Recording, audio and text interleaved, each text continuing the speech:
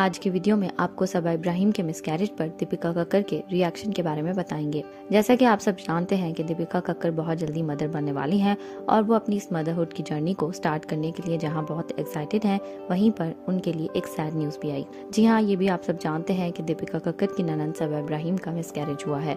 सबा और उनके हस्बैंड खालिद ने ये न्यूज़ अपने ब्लॉग के थ्रू अपने फैंस के साथ शेयर की और उन दोनों ने बताया कि किस तरह से सबा का मिसकैरेज हुआ और इस समय उनकी क्या कंडीशन है। वहीं पर दीपिका कक्कर ने पहली बार सबा इब्राहिम के मिसकैरेज पर बात की है। दीपिका ने अपने न्यू व्लॉग में बताया कि किस तरह से सबा इब्राहिम का मिसकैरेज हुआ। सबा का ख्याल सब रख रहे थे। वो अपने ससुराल में थी, अपने हस्बैंड के साथ थी और उनके हस्बैंड उनका पूरा ख्याल कर रहे थे। वो बेड रेस्ट पर थी, लेकिन फिर भी वही हुआ जो अल्लाह की मर्ज़ी थी। इसके साथ साथ दीपिका ने यह भी बताया कि वो उनके साथ इस डिफ़िकल्ट सिचुएशन में क्यों नहीं थी। दीपिका का कहना है कि उनकी हेल्थ कंडीशन के कारण वो सबा के साथ नहीं थी और सबा का साथ नहीं दे सकती थी और उनके साथ इस समय भी वो नहीं रह पा रही हैं। सबा अपने घर पर हैं और दीपिका उनके लिए बहुत ज़्यादा फिक्रमंद है।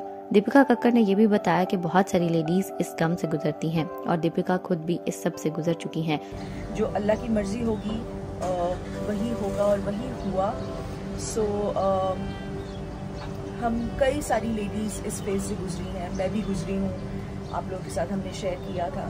सो so, यस uh, लेकिन उस टाइम पे जो इमोशनल आपको हर्ट होता है जो तकलीफ़ होती है जो बुरा लगता है उसे कोई डिनाई नहीं कर सकता। सो so, बस हर हर कोई अपनी कोशिश तो करता है उसने भी बेचारी ने पूरा रेस्ट किया पूरे प्रिकॉशंस लिए सारी दवाइयाँ अच्छी। सनी पूरा वक्त उसके साथ था उसका बहुत ख्याल रख रहा था। थे।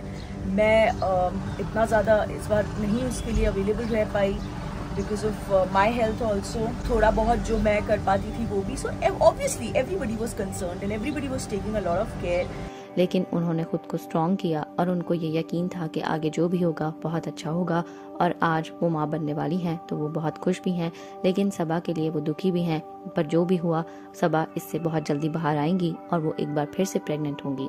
इसके साथ साथ उन्होंने बताया कि सबा की कंडीशन कुछ ठीक नहीं है, उन्हें अभी भी प्रॉपर रेस्ट की ज़रूरत है और वो बहुत जल्दी अपनी रूटीन लाइफ स्टार्ट करेंगी, तब तक उन्हें स्ट्रॉन्ग बनना पड़ेगा। हम सब सबा इब्राहिम के इस क्रिटिकल कंडीशन में उनके साथ हैं। और उनको लिए ढेरों प्रेयर्स आप सब इब्राहिम की इस कंडीशन में उनको क्या एडवाइस देना चाहेंगे, हमें कमेंट्स में बताना ना भूलिएगा।